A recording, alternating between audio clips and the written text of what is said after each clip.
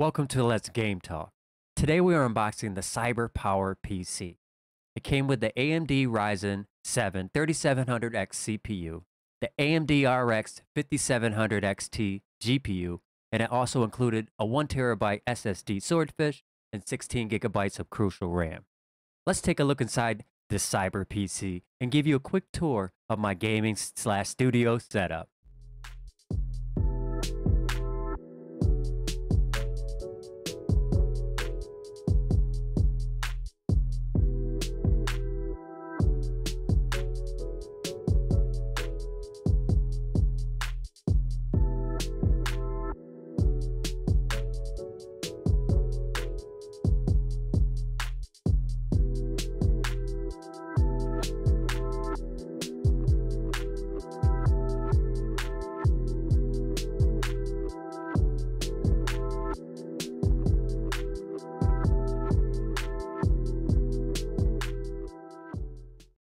Next, I'm going to show you some gameplay, benchmarks, and give you some quick tips to get you up and running fast. It definitely helped for me. Tip number one and story number one apply. When I received my PC, unboxed everything, plugged it up, fire away, nothing came on correct. For me, being a person familiar with PCs, I knew to start with the components inside the computer that could have came loose when it was shipped are first to check to see if the GPU was seated properly and if the RAM was seated properly. The problem was simply the RAM not being properly seated, which can happen with ship shipping. It can happen back at the, the warehouse, whatever the case may be. All it took was for me to seat the RAM properly, and voila, I was up and running. A special note please always touch your metal computer case when touching thing with inside a computer. Static electricity is enough to fry everything and anything inside there. So take that special note. Here's my benchmarks taken not too long ago. You can download this test yourself from user benchmark. Hit the test my PC button and you'll get your own results. Listen, there's many software programs like this. Different opinions on which one to use, but whatever one you feel like you want to use, just use it. If not, follow along with me and you'll be fine. As you can see, my scores are great.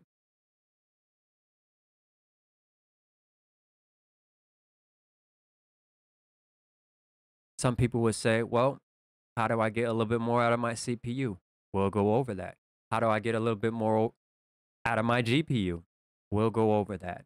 Although this is not for everybody and people that have never touched overclocking anything, I'd recommend not to do it.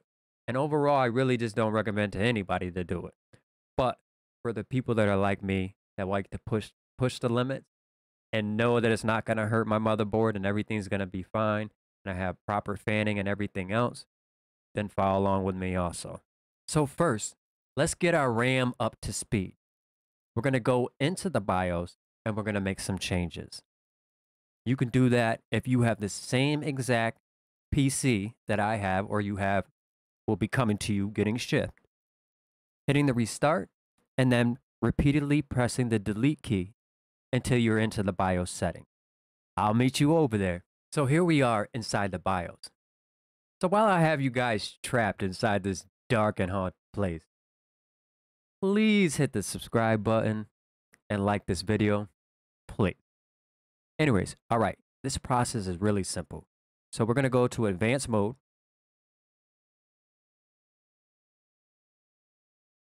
go to the AI tweaker.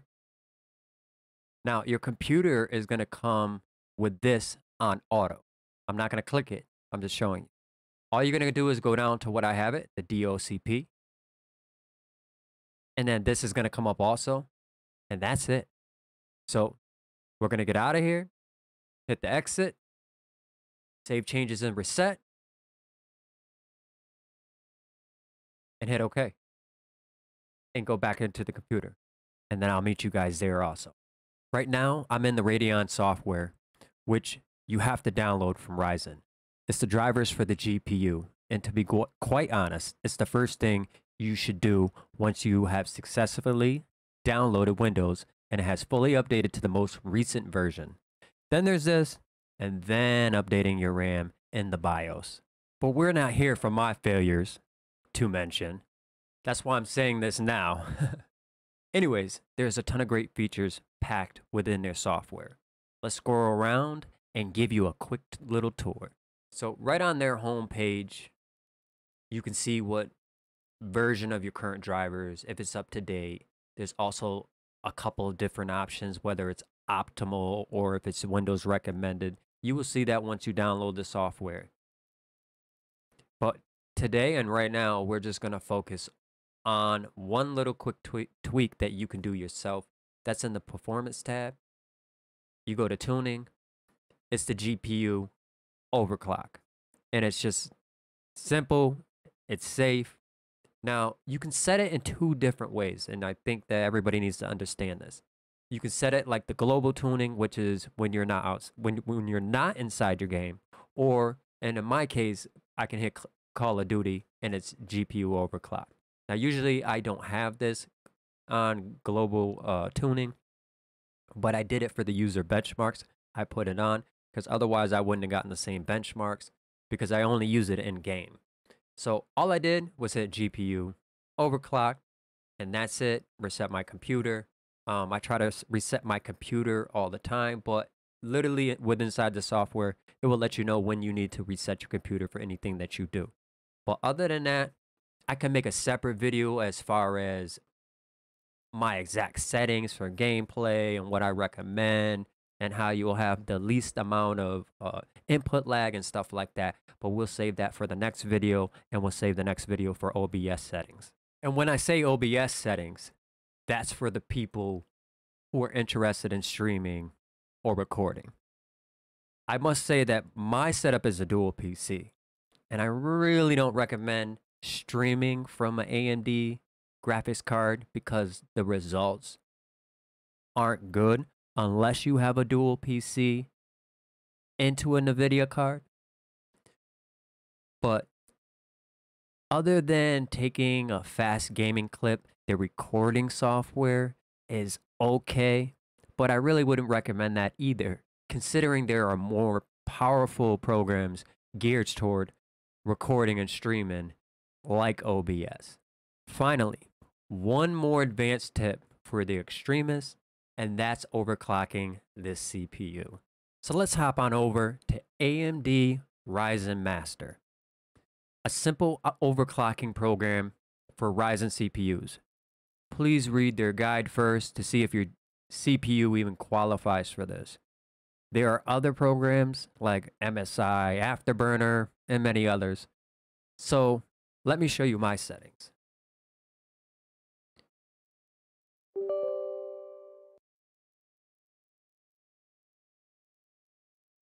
Now, once you start to get into this program, it's going to give you this whole disclaimer, warning. And once again, I'm going to give you a warning. I don't recommend anybody to overclock their CPU or GPU. But if you're daring, like me, and want to push the limits, then go right ahead. I've used this program also since the beginning and it's given me no problems. So we're going to click OK. Right now I had in gamer mode. I hit auto overclocking. I hit apply and test. So when you hit apply and test, it's going to restart your computer. And then after it restarts and gets into Windows, it's going to run a test, a stress test on your CPU. And it's going to let you know whether accepted it. Like, is your computer stable enough to maintain this? And another thing that I do a lot of the times is I'm always monitoring my temperatures, my CPU temperature, my GPU temperature. Sometimes I even keep, if I've been gaming for a while, I keep that overlay metrics, which is in the Ryzen software, right over my games in a corner and I make it super transparent so I can barely even see it. But I'm always keeping an eye on anything since I've been playing and I, and I got this computer. And I got to say that it's been fine since I've gotten this computer. Now, my computer could be shipped with a different motherboard and different other components. I would just make sure that you have the same exact components as me and just do anything that you do with overclocking with severe caution. Okay. So how about we drop into a game and show you the FPS and the quality of this PC. So we're going to play a little Resurgence off Call of Duty Warzone. You can catch me on Twitch at Let's Game Talk or any of my social medias. Just look up Let's Game Talk, you'll find me there. When I'm in the airplane, you won't see the FPS at 143 because I have it capped off. So it only plays at my maximum monitor, which is 144. During gameplay, the rest of I have capped off.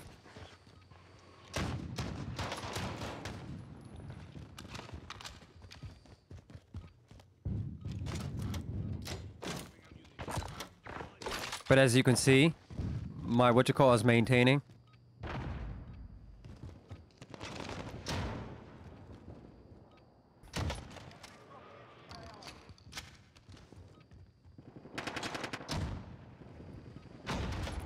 Oh my god.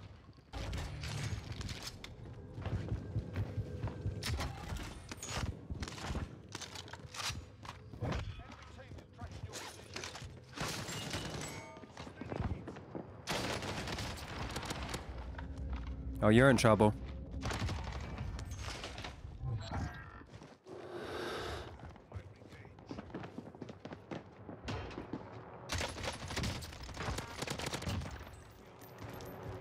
Uh-oh.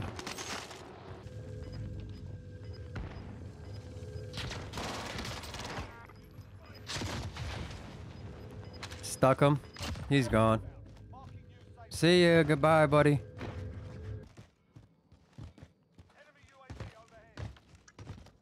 Still maintaining high frames. Gameplay is super smooth. It's like as soon as you touch, I touch my controller, it's there. When I shoot someone, it's there. It's, it's like it's not fair. As you can see, this graphics card is an FPS beast.